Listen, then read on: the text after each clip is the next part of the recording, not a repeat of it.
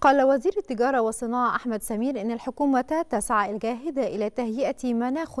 الأعمال أو مناخ الأعمال في مصر لجذب الاستثمارات الأجنبية وخاصة الاستثمارات الألمانية لما لها من باع طويل في العمل بالسوق المصري. وخلال لقائه مع وفد اتحاد الغرف الألمانية للصناعة والتجارة أكد سمير أهمية إقامة شركات أو شراكات تجارية واستثمارية تساهم في تنمية العلاقات الاقتصادية بين مصر وألمانيا خاصة وأن الحكومة تولي اهتماما بجذب المزيد من الاستثمارات الألمانية إلى مصر في مختلف القطاعات.